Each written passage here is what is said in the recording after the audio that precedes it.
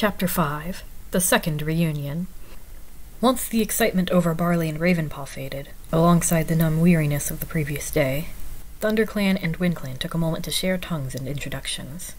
Fear clawed at Speckletail's heart as she met Thistlekit.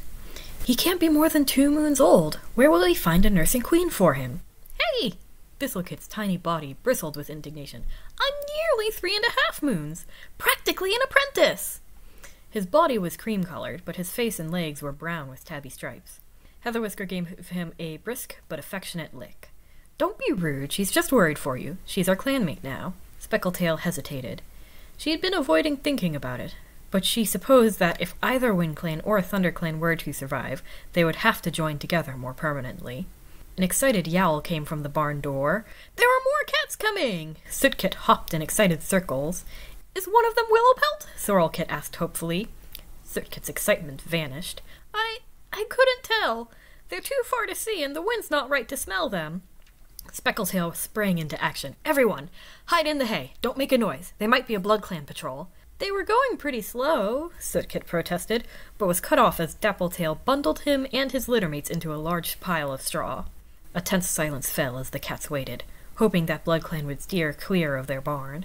But as a small body pushed through the door, Speckletail recognized Tawnypaw. She burst from her hay with a delighted cry.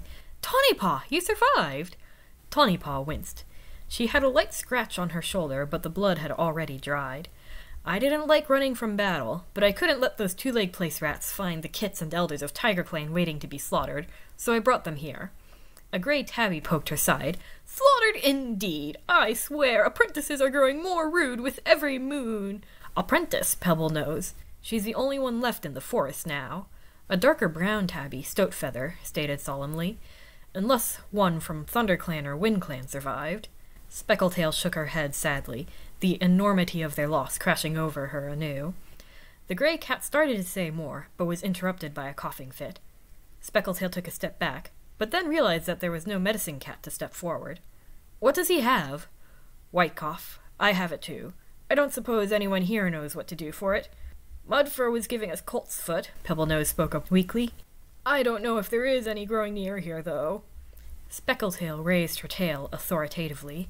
Well, we all know the best cure for any illness is rest and food. Rainkit, Sootkit, find these elders the warmest, driest part of the barn to sleep in, and gather extra hay for their nests.